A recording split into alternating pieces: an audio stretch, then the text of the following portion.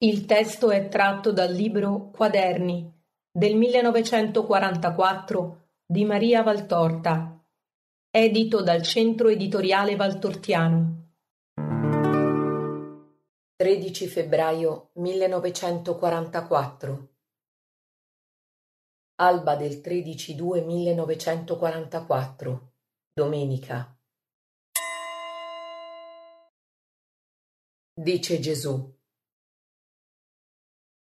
Povera stellina mia, che è rimasta sommersa sotto la tempesta di dolore del suo Gesù, nascosta, eclissata, annullata dietro al mio infinito dolore come una stellina dietro il sole. Povera Violetta mia, appesantita fino a piegare sotto il sangue del suo Gesù, come le erbe che hai visto intrise del mio rosso sudore nell'orto. Sai che t'ho fatto? Ti ho portata all'amore di compartecipazione, il quale è la perfezione dell'amore di fusione, di cui ti ho parlato in autunno. Ora è primavera, non è più autunno. L'inverno è cessato, i fiori sono apparsi nelle nostre contrade. Sorgi, amica mia. L'amore di fusione è alto, altissimo, sul vertice di quell'altezza è l'amore di compartecipazione. Nel primo ti annulli con la tua personalità umana nel tuo amato. Nel secondo ti sostituisci al tuo amato, lo circondi. Egli è l'anima, tu la veste dell'anima e senti in questa tua veste le pene del tuo amore mentre, nel tuo interno, egli grida le sue torture spirituali e morali e te le fa note, così come il pensiero che fa note alla carne le impressioni della mente e ricevi le impressioni materiali. È l'amore di compassione, di con passione ossia è la passione vissuta dal Cristo e dalla adoratrice del Cristo. Questo t'ho fatto. E se ti ho introdotta nella stanza dei vini e l'odore di essi ti ha talmente inebriata da farti cadere come morta, sappi, diletta, che quel vino è il mio sangue.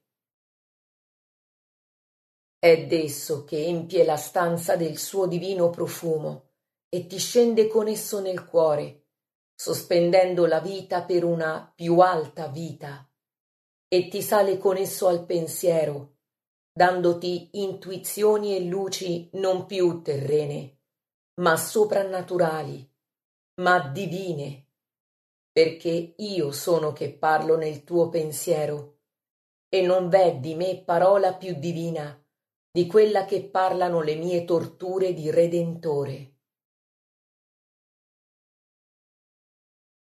All'ombra di lui che desideravo mi sono assisa. Ma quell'albero non è il melo carico di pomi, ma la mia croce, da cui pende un unico frutto, il tuo Cristo. Ebbene, io ne scendo ne sono sceso per sostenerti coi fiori della carità, per confortarti con le mie carezze, perché tu languivi di amore compassionevole. Cara, e t'amo per il tuo amore. Le tue lacrime nell'assistere al mio pianto, le tue lacrime nel sentire il fischiare dei flagelli, le tue lacrime nel vedermi cadere contro le pietre e le altre che spargerai davanti alla mia estrema tortura e alla mia estrema desolazione. Io le ho già gustate e furono a me, insieme a quelle delle anime a te, sorelle, nell'amore di compartecipazione, più dolci di un vino saturo di miele. Esse erano nel calice che l'angelo m'offerse per mitigare l'amarezza del calice paterno, per corroborare la mia umanità languente in una agonia crudele. Egli, l'angelo del mio dolore, a confortare il mio spirito abbattuto, mi ha enumerato tutti i nomi di quelli che m'avrebbero amato, totalmente amato, sino a dividere le mie torture. E fra essi era il tuo nome, Violetta, Stellina, piccolo Giovanni, Maria, Maria mia. Grazie, anima che amo. Sarei andato e andrei più adagio nell'immetterti nel mio soffrire. Ma occorre accelerare i tempi.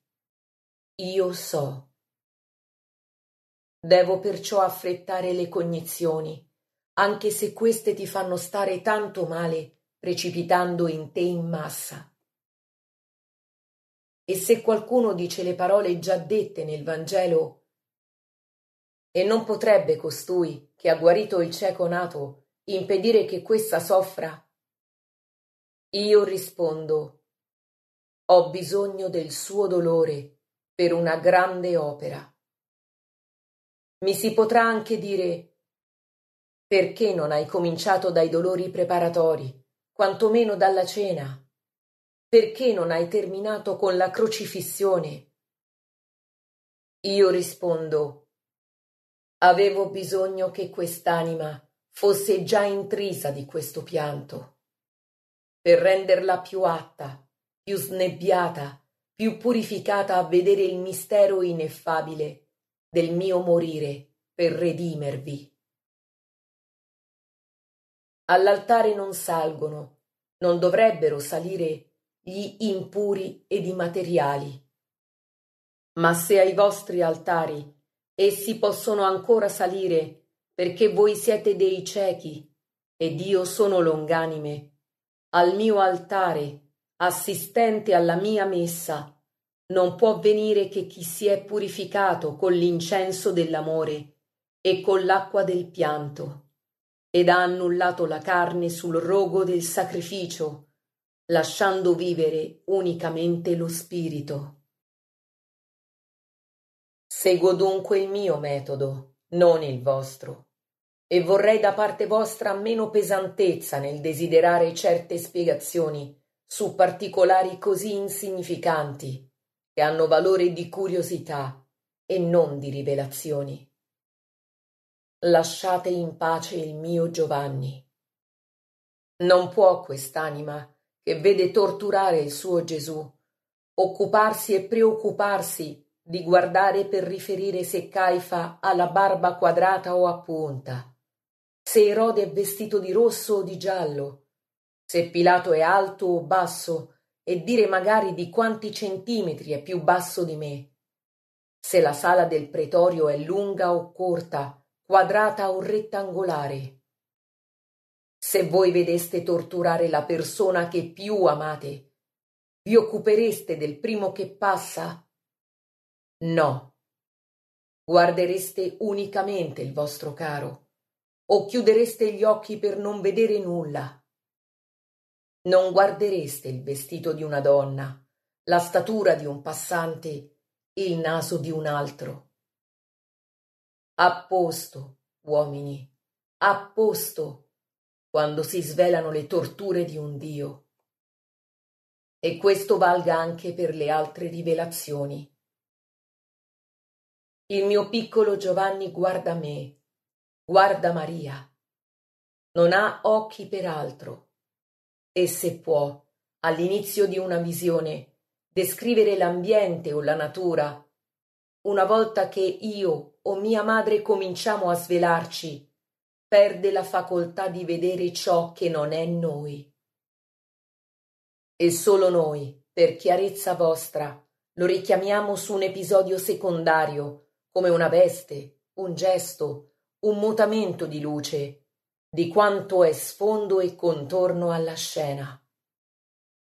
Altrimenti il portavoce non vedrebbe più nulla, tolti il Cristo o Maria, o il santo di cui si tratta.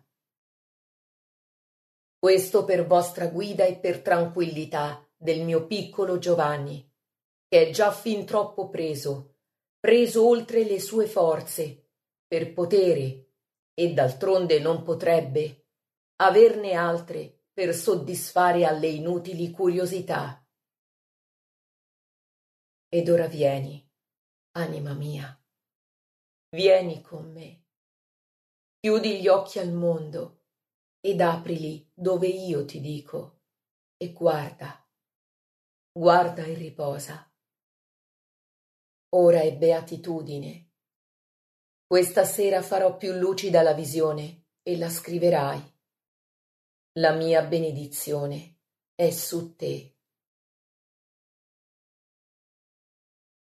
Oggi non è venuto chi doveva venire alle dodici e trenta, quando sono stata certa che non sarebbe venuto, mi sono lamentata dolcemente con Gesù.